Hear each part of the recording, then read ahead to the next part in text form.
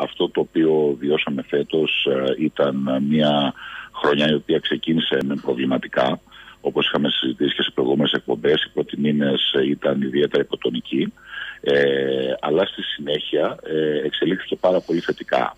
Άρα ουσιαστικά αυτό το οποίο βλέπουμε είναι ότι από τον Ιούλιο και μετά ε, τα, οι αφήξεις ε, και η, ο κύκλος εργασιών πλησιάζουν κατά πολύ τα επίπεδα του 2019. Όσον αφορά το θέμα της επιμήκης, αυτό το οποίο βλέπουμε είναι ότι και ο Οκτώβριος κινείται πάρα πολύ καλά, σχεδόν σε επίπεδα Σεπτεμβρίου και ήδη υπάρχουν προγραμματισμένες πτήσεις, κυρίως από Γερμανία, μέχρι Νοέμβρη, το οποίο δείχνει ότι και Νοέμβριος δεν, δεν περιμένουμε να κινηθεί στα επίπεδα του Οκτώβριου, αλλά σίγουρα θα κινηθεί θετικά.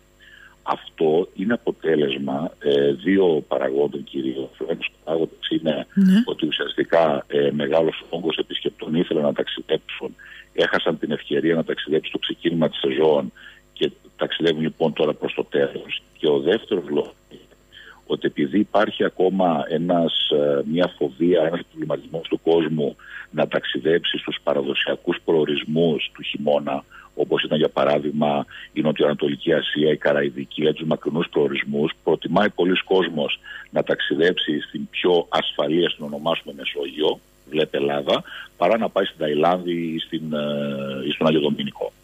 Αυτό μπορούμε να το εκμεταλλευτούμε. Έχουμε τη δυνατότητα να το εκμεταλλευτούμε. Εγώ θα σας πω και κορονοϊό θέλοντος και όλα τα υπόλοιπα και καιρού επιτρέποντος κλπ. κλπ, κλπ.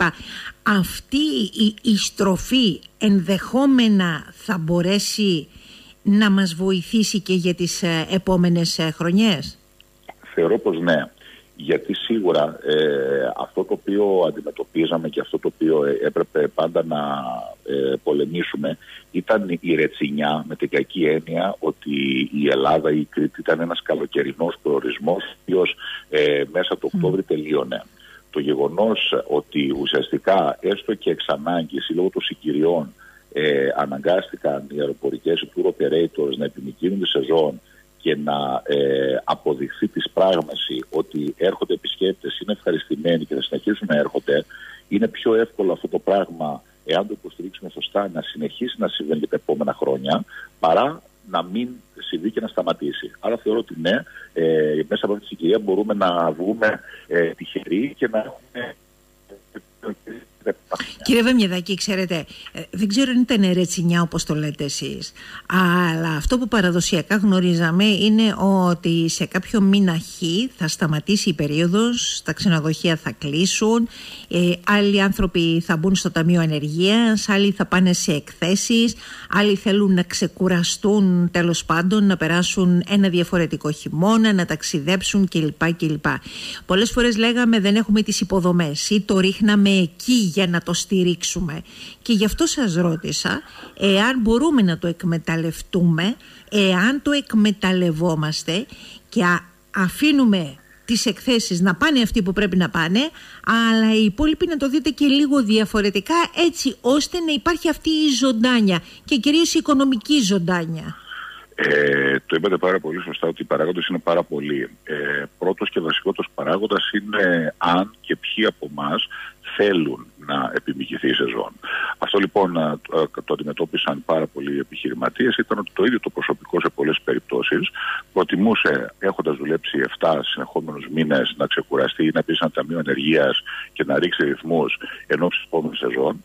Και υπήρχε τέλος πάντων ε, μια πολύ περιορισμένη όρεξη για να δει κάποιος προσωπικό για το χειμώνα. Ε, όχι, μην μη μου το ρίξετε στο προσωπικό. Ο εργαζόμενος θέλει να δουλεύει. Όχι, όχι, όχι, δεν το Δείτε τις δικές σας. λογική, πάρα πολλοί επιχειρηματίες προτιμούσαν, επειδή οι τιμές είναι παραδοσιακά χαμηλότερες ε, στο, κατά τους χαμηλούς ε, φθινοπορού και χειμερινούς μήνες, να κρατήσουν τα ξενοδοχεία κλειστά ε, και να κάνουν κάποιες ανακοινήσει. Όλο αυτό λοιπόν υπήρχαν πάντα κάποιοι τέτοιοι παράγοντες που η αγορά. Έτεινε να γίνει άλλη, πλειοψηφία ωστόσο, έτσι, το ξέρετε. Ακριβώς. Από την άλλη, οι, tour, οι tour και οι αεροπορικές εταιρείες θεωρούν ε, να βάλουν τήσει για μακρινούς προορισμούς, ε, οι οποίοι ήταν καθιερωμένοι στη συνείδηση των επισκεπτών. Ε, άρα λοιπόν όλα αυτά τα πράγματα είχαν δημιουργήσει αυτή την ρετσινιά, την μία ας το πούμε συνείδηση ότι ε, τελειώνουν τα πάντα τον Οκτώβριο. Αν, τώρα λοιπόν όταν εκ των πραγμάτων και το προ... και οι ε, βλέπουν ότι ήταν μια κουτσουρεμένη χρονιά, άρα εκ των πραγμάτων πρέπει να την τραβήξουν προς τα πίσω για να καλύψουν τους χαμένους μήνες. Ε, όταν οι αεροπορικές εταιρείες βλέπουν ότι δεν έχουν προορισμούς ή είναι περιορισμένοι για να πετάξουν αυτή την περίοδο, άρα θέλουν να υποστηρίξουν ε, τη Μεσόγειο και την Ελλάδα, είναι σίγουρα κάτι το οποίο του χρόνου, όταν θα γίνει όποιο όλοι θα έχουν πούνε ότι ωραία, πετάξαμε τον Νοέμβριο στην Κρήτη και ήταν όλα καλά, άρα γιατί δεν το ξανακάνουμε. Εκεί λοιπόν θέλω, αυτό ε, ξεκίνησα λέγοντας ότι είναι πλέον στο χέρι μας. Ε, αυτό το οποίο όμως βλέπουμε σε γενικές γραμμές η, η όρεξη του κόσμου να ταξιδέψει είναι πάρα πάρα πολύ ισχυρότερη από την όποια φοβία, από τον όποιο προβληματισμό ε, γιατί κακά τα ψέματα είναι μια περίοδος ε, στην οποία βλέπουμε ότι ε, μπορεί να είναι περιορισμένα τα κρούσματα, μπορεί να είναι σαφώς πολύ βελτιωμένη κατάσταση σε σχέση με πριν από κάποιους μήνες, αλλά το γεγονός ότι ο κόσμος συνεχίζει, δηλαδή, ακούμε και σε περιόδους οι οποίες ήμασταν σε πολύ υψηλούς δείκτες ε, κρουσμάτων και και έρχονταν ο κόσμο δείχνει πόσο όρεξη υπάρχει να ταξιδέψει. Άρα λοιπόν αυτό το πράγμα, αυτό το, ε, την επαναφορά πρέπει να την αξιοποιήσουμε στο έπακρο. Mm, μακάρι, μακάρι. Ε, και από τα ψηλά, δηλαδή εννοώ την ηγεσία του Υπουργείου, των ΕΟΤ, αλλά και από εσάς, από τη δική σας την πλευρά, αν εκμεταλλευτεί, ναι, μπορεί να μας δώσει τα αναμενόμενα και το κρατάω. Κλείνουμε λοιπόν με θετικό πρόσημο για αυτή τη χρονιά σε καιρό κορονοϊού, ναι θετικό πρόσημο ε, είναι σε σχέση με το 2020. Το πρόσημο είναι αρνητικός σαφώς σε σχέση με το 2019 σε σύνολο σεζόν, αλλά σίγουρα στην περίοδο που πραγματικά δουλεύει. Ε, μα, γι αυτό, μα γι' αυτό είπα θετικό πρόσημο σε καιρό κορονοϊού.